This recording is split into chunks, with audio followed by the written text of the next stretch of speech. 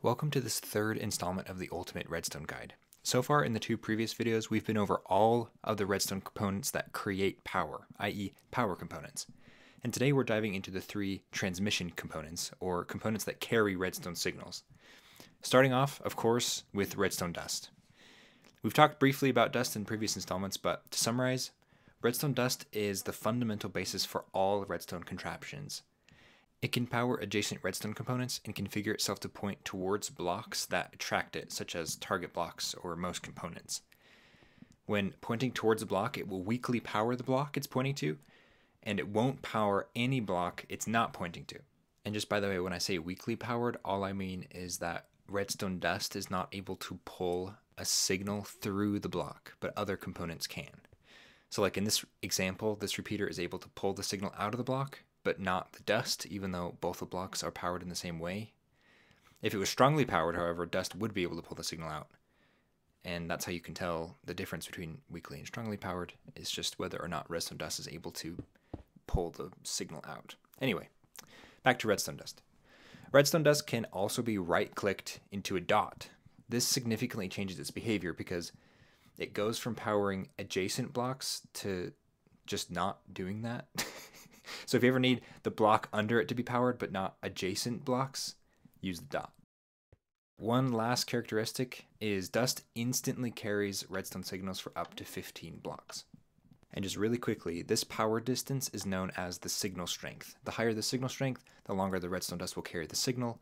Each block the signal strength travels, it decreases by one, maxing out at 15 meaning that 16 blocks away from the power source, the redstone will be unpowered again. I explained this more in depth in our first video of the, of the series, so if you have any questions about that, feel free to refer back to that video.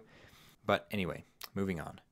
If you would ever need to send a redstone signal a long way, repeaters come in super handy for that. Basically, they take any signal strength and, well, repeat it, boosting it back up to a signal strength of 15 no matter what the input was. So you can kind of think of it like a Wi-Fi repeater. It grabs whatever signal it gets and repeats it at full power.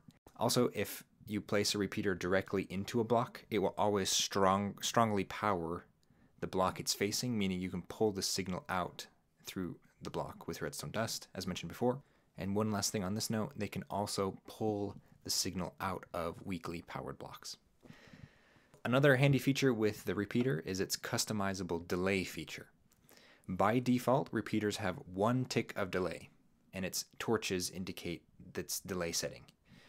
So as they move away from each other, each position is one more tick of delay, maxing out at four ticks, and then it cycles back to one.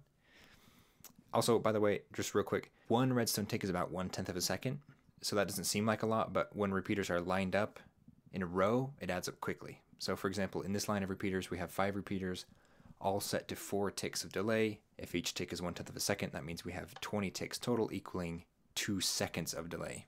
Whereas this line to the right is all set up to one tick, meaning we only have a half a second of delay. So when stacked, it makes a big difference. And it's a very commonly used feature, so it's good to know. Repeaters can also be locked in its current powered or unpowered state by running a powered repeater into the side of it. Basically, if the repeater is locked when it's off, it won't let any signal through. And vice versa, if it's locked when powered, then the repeater won't turn off until it's unlocked. And this is useful if you ever want to lock a line from changing states before you want to. For example, in my stopwatch I just recently designed, I used this locking repeater feature to prevent players from pushing the same button more than once, breaking the machine. So I would send the signal into the repeater, locking it when one button was pressed, and then before it would be able to be pressed again, well, of course, the player could push the button as many times as they wanted to, but in order to prevent the signal from going into the machine, I'd lock the repeater and prevent that signal from going in and messing things up.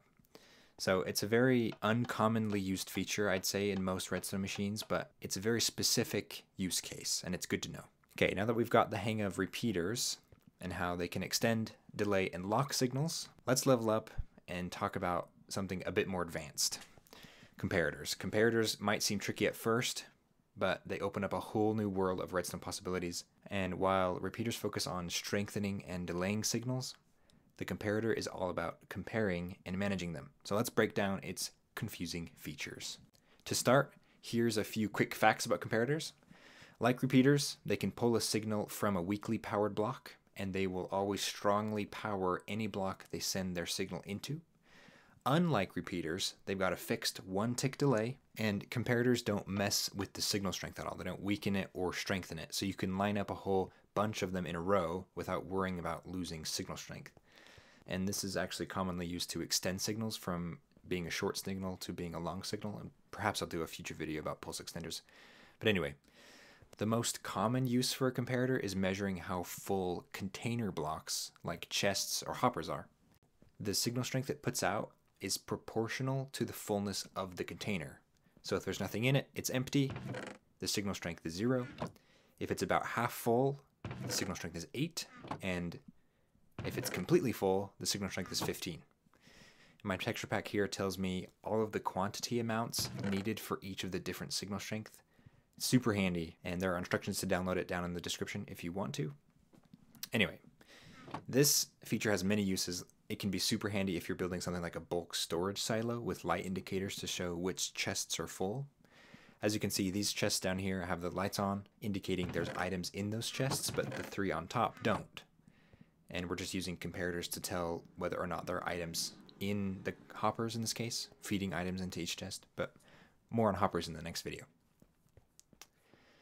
The most complicated feature, and probably the reason comparators are deemed so confusing, is when you begin entering signals into the side of comparators. So, to break it down, comparators have two modes compare and subtract. When the torch is off, that means it's in compare mode, its default setting.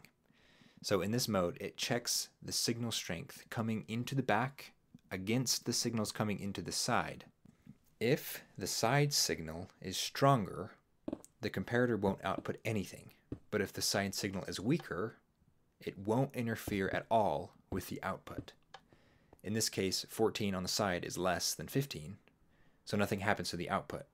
However, if you were to switch these signals, then nothing would output at all because the side signal is now stronger than the back signal. I've used this feature before when I wanted a machine to monitor how full a chest was getting and activate a system, perhaps maybe to empty the chest, once it reached this certain level of quantity. So you might have to watch that back a few times to get it straight in your head, but once it once you get the hang of it, it's super useful. If you right click the comparator, it turns it into subtract mode with the torch on. This mode actually makes a little bit more sense to me, and it might for you too. So basically, the comparator takes the signal coming into the side and subtracts it from the signal coming into the back. And then it outputs the difference to the front. In this case, the difference would be 1, because 15, the back input, minus 14, the side input, equals 1. Of course, the side input still needs to be weaker than the back input, otherwise the result would be less than 0 and you get no output at all. So whether you're using subtract mode or compare mode, the side input always needs to be weaker than the back input, or else you will get an output of zero. So to sum it up, in compare mode, the output is either true or false. It's either your back input outputted or zero. And then in subtract mode, it's outputting the difference between the back and side signals. Essentially, back minus the sides equal the output. So that should do it for the transmission video of our series.